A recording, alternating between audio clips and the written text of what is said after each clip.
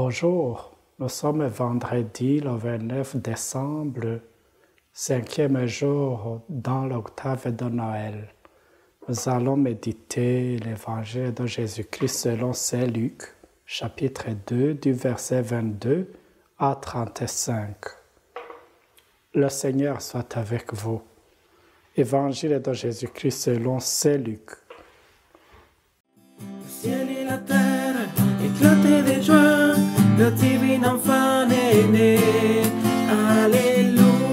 Alléluia, Alléluia. Gloire à toi les cieux, Alléluia. Quand fut accompli le temps prescrit par la loi de Moïse pour la purification, les parents de Jésus l'amenèrent à Jérusalem pour le présenter au Seigneur, selon ce qui est écrit dans la loi. Tout premier-né de sexe masculin sera consacré au Seigneur. Il venait aussi offrir le sacrifice prescrit par la loi du Seigneur, un couple de tourterelles ou deux petites colombes. Or, il y avait à Jérusalem un homme appelé Siméon. C'était un homme juste et religieux qui attendait la consolation d'Israël et l'Esprit Saint était sur lui. Il avait reçu de l'Esprit Saint l'annonce qu'il ne verrait pas la mort avant d'avoir vu le Christ, le Messie du Seigneur. Sous l'action de l'Esprit, Siméon vint au temple. Au moment où les parents présentaient l'enfant Jésus pour se conformer au rite de la loi qui le concernait, Siméon reçut l'enfant dans ses bras et il bénit Dieu en disant Maintenant, ô Maître souverain, tu peux laisser ton serviteur s'en aller en paix selon ta parole, car mes yeux ont vu le salut que tu préparais à la face des peuples lumière qui se révèle aux nations et donne gloire à ton peuple Israël. Le père et la mère de l'enfant s'étonnaient de ce qui était dit de lui. Siméon les bénit, puis il dit à Marie sa mère, Voici que cet enfant provoquera la chute et le relèvement de beaucoup en Israël.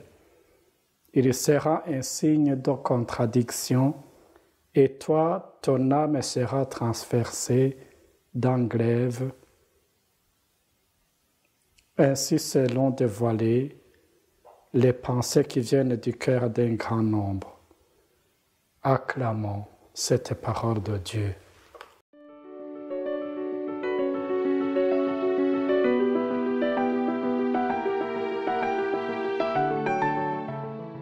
Nous sommes encore dans la joie de Noël et cet évangile que nous venons d'entendre nous parle de la présentation de Jésus au temple. Joseph et Marie observent scrupuleusement la loi de Moïse. En effet, les Juifs devaient offrir au Seigneur en sacrifice tout animal et premier-né mâle sorti du sein maternel. Quant au garçon premier-né, ils devaient les racheter par une offrande parce qu'ils appartenaient à Dieu, comme nous le dit le livre de l'Exode chapitre 13 verset 15. C'était pour commémorer la libération de l'esclavage en Égypte, lorsque Dieu avait fait périr tous les mâles premiers-nés, hommes et animaux, des Égyptiens et avait épargné ceux des Juifs.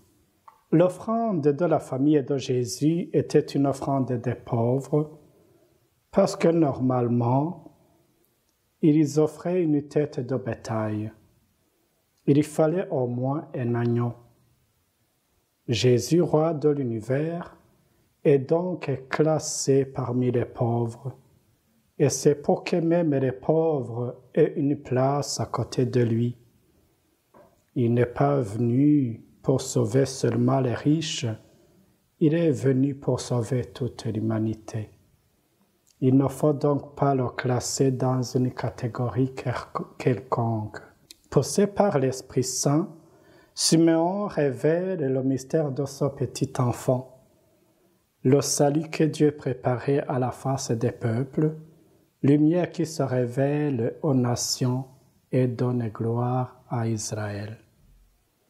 C'est pourquoi on appelle la fête de la présentation du Seigneur au temple la fête des lumières ou la chandeleur. Accueillir Jésus comme lumière, c'est accepter qu'il illumine ma vie pour que je devienne à mon tour rayonnant afin de transmettre cette lumière autour de moi. En Jésus, Siméon reconnaît le Sauveur du monde qui apporte la lumière à l'univers tout entier. C'est le roi de gloire qui entre dans son temple. Et toute la longue attente d'Israël est représentée par ces deux personnages, Siméon et Anne, puisque les, deux étaient en attente du salut, comme nous le dit l'Évangile. Désormais, le temple de la loi est révolu. Le Seigneur est entré dans son temple pour répandre l'Esprit sur toute chair et éclairer les nations païennes. C'est la joie pour les uns et la tristesse pour les autres. Les gens devront opter pour ou contre Jésus. Il ne laissera personne indifférent. Siméon annonce la Vierge des douleurs. La Vierge Marie souffrira parce que son fils sera incompris et on ira jusqu'à le tuer. C'est comme ça qu'il a accompli jusqu'au bout sa mission de libérer l'humanité entière, esclave du péché, et secourir tous ces essais qui sont dans une situation humiliante.